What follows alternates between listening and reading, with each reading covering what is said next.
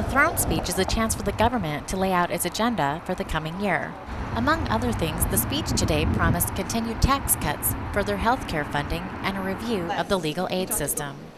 Creating four new ministries surrounding issues of water conservation, the NDP have signaled a commitment to improving water quality in the province.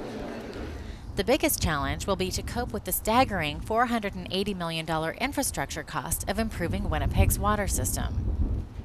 It was an outlet pipe like this one that leaked hundreds of thousands of gallons of raw sewage into Winnipeg's river systems last year. Water Conservation Minister Stan Struthers spoke to RRC TV about the issue.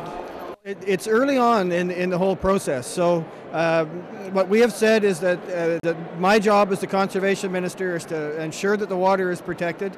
Uh, that, that we will sit with the City of Winnipeg and talk about all those issues at the, at the appropriate time, but that, uh, that right now we need to do much more of a financial analysis. It's clear from today's throne speech that the Doer government is willing to help the City of Winnipeg with its sewer problem.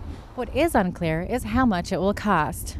From the banks of the Assiniboine River, I'm Jeannette Rocher for RRC TV.